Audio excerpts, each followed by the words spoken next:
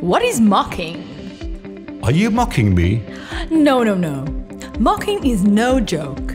Mocking in software development is a technique used in unit testing in which we simulate the external dependencies of the code that's being tested. Still not sure? Let me demonstrate. Meet Bob, Hi. a software developer. He's working on a new feature for his company's website. I'm writing the code for the new feature, but before I can release it, I need to make sure that it works as intended. But there's a problem. Oh no. The new feature depends on other parts of the system, and those parts are not working properly.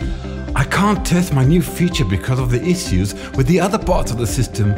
I need a way to isolate the feature and test it on its own. That's where mocking comes in. Now I'll create a mock object to simulate the behavior of the real object that the new feature depends on. With the mock object in place, Bob can test his new feature in isolation and make sure it works as intended, without being affected by the issues with the other parts of the system. That's the power of mocking.